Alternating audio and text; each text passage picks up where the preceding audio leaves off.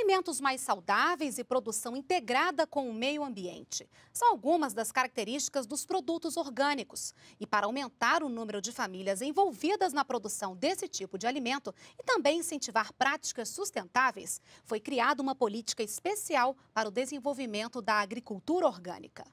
As irmãs Cleide e Marlene são agricultoras familiares. São elas que plantam e colhem as frutas e os legumes que produzem nesta chácara, localizada em Braslândia, a 40 quilômetros de Brasília. Há cinco anos, elas trocaram o plantio convencional, com o uso de agrotóxicos, pela agricultura orgânica. Escolha mais saudável para o meio ambiente, para quem consome o alimento e mais ainda para quem produz. O convencional, eles botam coisa, eles escolhem, eles até na hora da colheita eles botam veneno para o negócio brilhar. O nosso pode às vezes até não ter brilho, mas tem sabor tem saúde. De acordo com o Ministério da Agricultura, Pecuária e Abastecimento, o Brasil tem hoje cerca de 11.500 propriedades como esta ligadas ao plantio de alimentos orgânicos. Agora, a Política Nacional de Agroecologia e Produção Orgânica quer aumentar o número de famílias envolvidas com este modelo de agricultura sustentável. A nova política lançada em agosto pretende também ampliar até 2014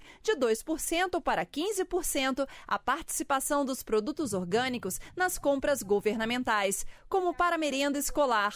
Identificamos que o próprio governo pode, através das suas compras para a merenda escolar, por exemplo, estar tá fazendo um tipo diferenciado de aquisição e aí estimular, garantindo né, uma, um fluxo de mercado para que o produtor tenha uma certeza que ele vai produzir e vai conseguir comercializar. E um grupo com representantes do governo e da sociedade civil vai discutir as ações que vão ser priorizadas, como a criação de instrumentos de financiamento rural. O que a gente quer agora com essa gestão compartilhada, essa gestão conjunta, é que a gente direcione melhor também a aplicação dos recursos, a aplicação dos esforços.